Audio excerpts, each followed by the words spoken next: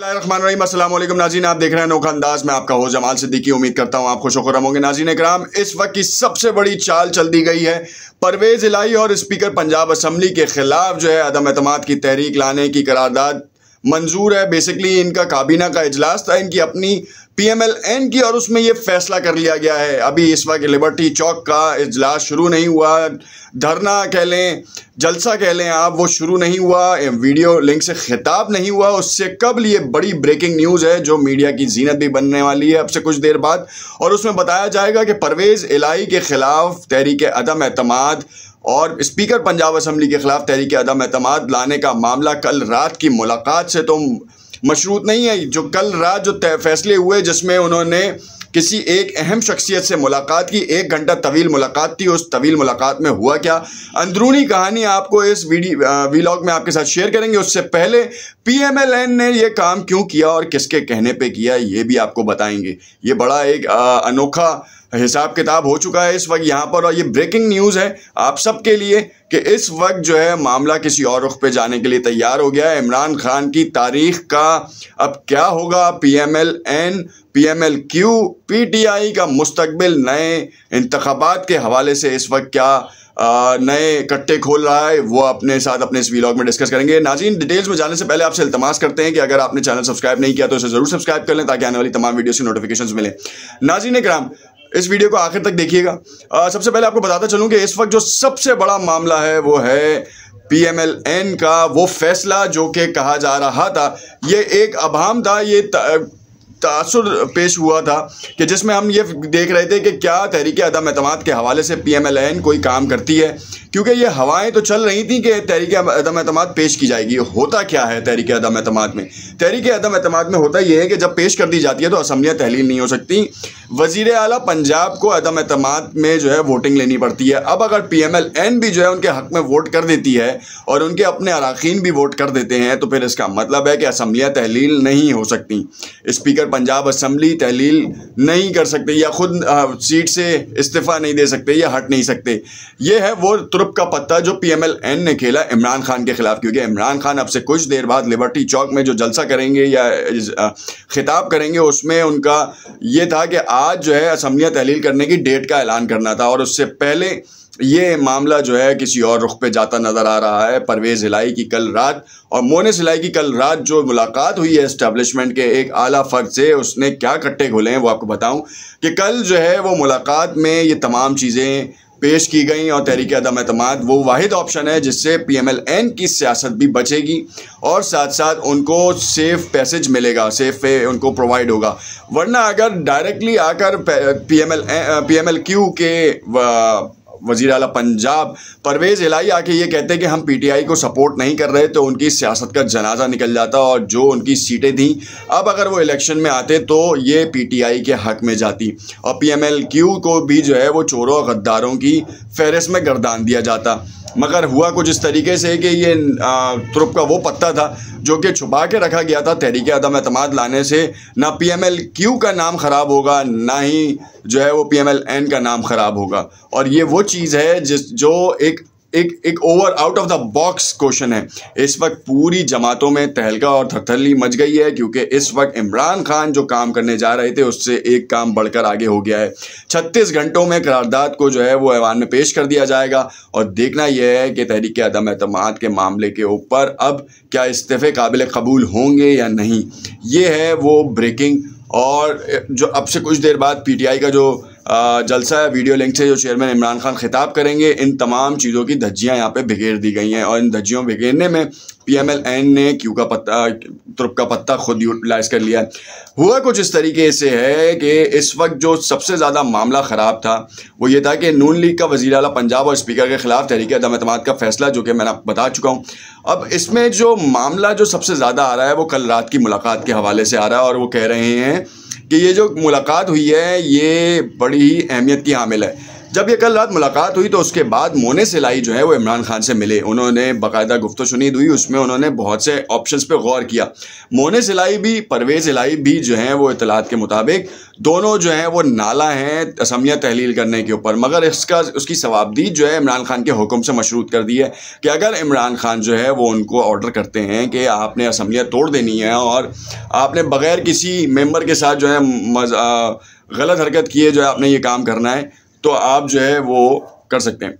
अब सिनेरियो ये है कि उनको एक तरफ़ इमरान खान ने जो है वो P M L P M L Q से जो है वो बातचीत की है। अभी कुछ देर बाद दोबारा बातचीत होने वाली है क्योंकि कल रात की मीटिंग हुई है। मीटिंग के बाद इमरान खान से मोने सिलाई परवेज़ लाई मिले। दोनों का बयानिया एक ही है अभी इस वक्त।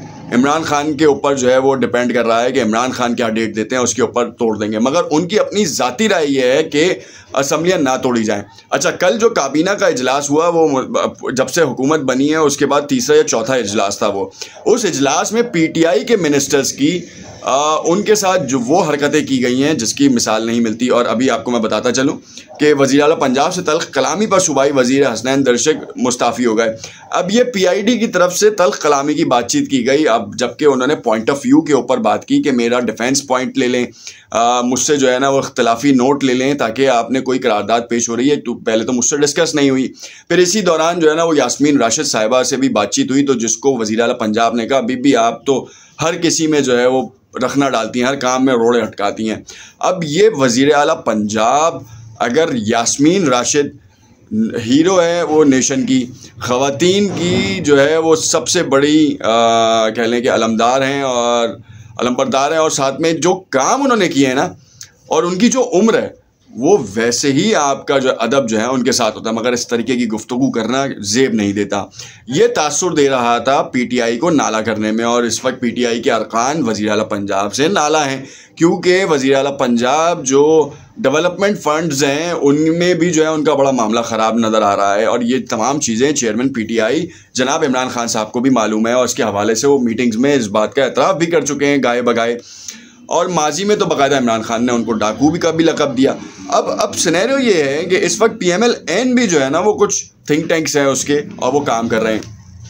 उन थिंक टैंक्स का काम ही यही है कि इस वक्त जो है वो ये देख रहे हैं कि मामला किस रुख पे क्योंकि इमरान खान अगर आज ऐलान करते हैं तो फिर उसके बाद असम्बलियाँ खाली होंगी। अच्छा अगर परवेज़ इलाही और उनका बेल्ट जो है वो इनके साथ मिलता है और उस बेल्ट के साथ जो है वो पी एम एल एन अगर हुकूमत बनाती है तो फिर परवेज इलाही को ऑफ़र कर दी गई। और इस ऑफ़र के चक्कर में पी एम एल एन के अंदर खुद दराड़े भी पड़ी, जिसमें मरियम नवाज़ और हमदा शहबाज की जो कास्ट है मतलब जो उनके पूरा कह लें कि उनका जो एक पीरियड है फ़ैन फॉलोइंग है, वो उन दोनों में लड़ाई थी कि मरियम नवाज़ को होना चाहिए था। हमजा शहबाज शरीफ कहते हैं कि ये सी एम की सीट जो है ना वो मेरी है। और मैं इसको करूँगा और इनके फॉलोअर्स आपस में जिस तरीके की ज़बान इस्तेमाल कर रहे थे, एक दूसरे के ख़िलाफ़, वो भी आपके सामने बहुत सारे मामला में बड़े ख़राबी हुई। फिर उसके बाद जो है वो एक न्यूज़ खबर दी गई पी एम एल एन को मुतहद करने के लिए कि जनवरी के दूसरे हफ़्ते में नवाज़ शरीफ आ जाएँगे। अच्छा इसी इसी टेन्योर पे इमरान खान ने भी बयान देना कम नहीं किया। उन्होंने कहा, मैं असम्बलियाँ तहलील करने का ऐलान लिबर्टी चौक लाहौर से करूँगा। पाकिस्तान में दो शहर ऐसे हैं जहाँ से सियासत बड़े बड़े हिसाब किताब करती है कराची दूसरा लाहौर। इस्लामाबाद में तो ऐवान हैं और वहाँ पे जो है ना वो सिटिंग प्राइम मिनिस्टर है मगर जो सियासत के गढ़ हैं असल जो मामला हैं जो मुल्क को भी दिखाते हैं वो कराची और लाहौर है। बहुत से लोग शायद इतफाक़ करें या ना करें मगर आ, ये है सच है बिल्कुल है। अब होगा क्या? अब जो इतना तातुल आ रहा है इतने जो मामला ख़राब हो रहे हैं उसमें क्या वाकई परवेज़ इलाई जो है वो जैसे लास्ट टाइम दुआ खैर के बाद भी जो है वो एक फ़ोन कॉल पर बदल गए थे और इमरान खान के पॉट में आ गए थे। अब बाकायदा फ़ेस टू फेस मुलाकात के बाद ये तहरीक अदम अतमाद को आ, मीडिया पे लेकर आना पी एम एल एन और पी एम एल क्यू की जो है वो मिली भगत है। अब तासर तो यही है क्योंकि कल की मुलाकात के बाद जो है फिर आप इमरान खान से मिले फिर उसके बाद जो है आप दोबारा जो है आपके रवाबित हुए और उसके बाद अब आप अब से कुछ देर बाद मिलेंगे क्योंकि तहरीक अदम अतमाद का मामला था। इस तरीके अदम अतमाद की न्यूज़ आने के बाद जो है पी एम एल काफ का जो वफद है परवेज़ इलाई की सरबराही में, वो इमरान खान से मिलेगा। और इससे पहले ही इमरान खान ने मुशावरती इजलास बुलाए हुए थे अपने अहम चीदा चीदा रहनुमाओं को, जो है वो जमान पार्क, लाहौर में जो है वो उनसे मुलाकातें कर रहे हैं और देख रहे हैं कि मामला जो है वो इस वक्त उनके हाथ से निकल रहा है या उनके हाथ में ही है। क्योंकि अगर असम्बलियाँ तहलील करने की डेट देते हैं तो फिर असम्बलियाँ तहलील करनी होगी और अगर काफ लीग अलग हो जाती है तो फिर मजबूरन काफ लीग के बजाय जो है वो इमरान खान को इस्तीफ़ों के मुतालबे पे या इस्तीफ़े पे गौर करना पड़ेगा और देने पड़ेंगे, क्योंकि वो अब ज़बान से पीछे नहीं हट सकते। अब अगर असमियाँ हट जाती हैं, काफ लीग से अनबन हो जाती है, जो कि दिख रहा है कि नब्बे फ़ीसद चांसेस ये हैं कि काफ लीग जो है वो ये इस तरह के दोहरे मैार अपनाए, जैसे कि ये तरीके अदम अतमाद का मैार है। और इस तरीके अदम अतमाद के मैार को बैक करने वाले भी काफ लीग के होंगे, क्योंकि अगर इतनी सपोर्ट नहीं होती तो पी एम एल एन जो है, वो कभी भी इस तरह का, इस तरह की न्यूज़ जो है वो मार्केट में नहीं निकालती, क्योंकि उनको मालूम है उनकी रेपो क्या है। अगर ये फेक न्यूज़ होती तो ये इनके लिए मुसीबत हो जाती। अब देखना यह है कि वीडियो लिंक में ख़िताब के लिए इमरान खान डिले करेंगे कि मैं आज नहीं अग, अगले जुम्मे तक करूँगा ऐलान क्योंकि अभी मैं देख रहा हूँ कि तहरीक अदम अतमाद का प्रोसेस शुरू है क्योंकि तहरीक अदम अतमाद की करारदाद जमा हो जाती है तो फिर चौदह दिन के अंदर अंदर तक वोटिंग की जाती है।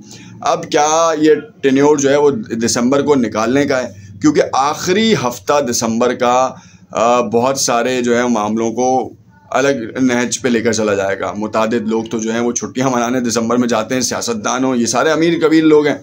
मगर इस बार जो है इमरान खान ने सबका पत्ता जो है ना, साफ़ किया हुआ है। छुट्टियाँ उट्टियाँ कहाँ, वो तो जमान पार्क से सियासत कर रहे हैं।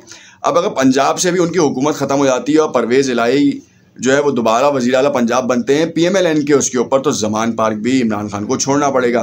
फिर एक चीज़ रह जाती है, वो है के पी अगर के पी से भी इस्तीफ़ा दे देते हैं असम्बलियों से तो फिर इमरान खान कहाँ रहेंगे? तो ये तमाम चीज़ें जो है ना, वो एक हॉलो है और उनको घेरा जा रहा है और इमरान खान को गिरफ़्तार और नाअहल करने के लिए अब जो है वो एक एक स्टेप लिया जा रहा है। अब इमरान खान की गिरफ्तारी ही मकसूद है। अगर तो इमरान खान इस तरफ़ रहते हैं या फिर इनके ऊपर डिपेंड करता है परवेज़ इलाई का। परवेज़ इलाई पॉट के इस तरफ़ रहते हैं या पॉट के इस तरफ़ रहते हैं? ये पी एम एल एन है और ये पी टी आई है। पी एम एल एन के साथ जो है ग्यारह जमातों का इतिहाद है। और इस वक्त हुकूमत का हिस्सा है।